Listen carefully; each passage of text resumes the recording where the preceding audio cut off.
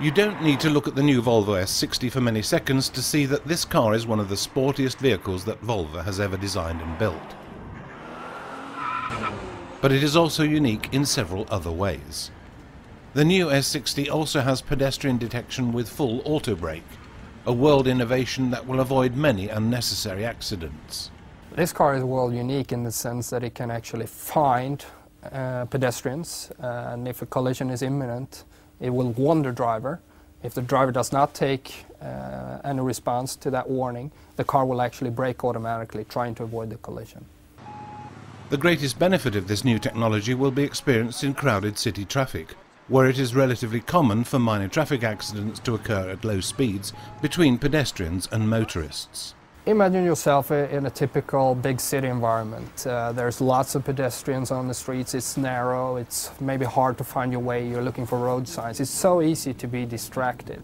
And in these situations you can say that the car actually helps you keep an eye out for pedestrians and other cars. And it will actually give you a warning if a collision is imminent.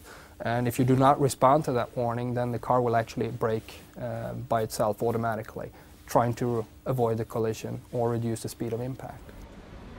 It could be said that this technology is based on a very advanced collaboration between radar and the camera surveillance of pedestrians. The technology that we use in this car is an advanced radar that is mounted in the grille here. And this radar can monitor very far in front of the car, but also in front and at the side of the road. Pedestrians usually appear from the side.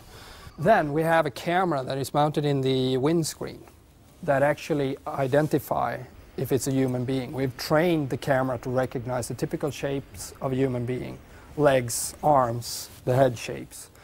And with this information, the car can sense if a collision is imminent issue a warning, and if the driver does not respond to this warning, the car will brake automatically down to a full stop. Traffic accidents between pedestrians and cars are today a major problem in all large towns around the world. And traffic safety researchers are convinced that this new technology will prevent many unnecessary accidents.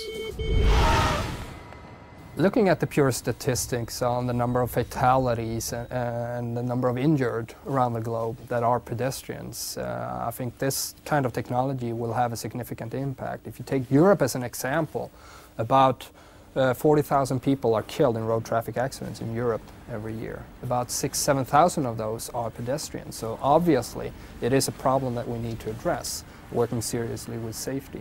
And uh, due to pure physics, uh, people are soft, cars are hard. Uh, so the best way really to address this issue, we believe, is to try to avoid these type of collisions. And it's also very much in line with our future vision of, of, of a crash-free future.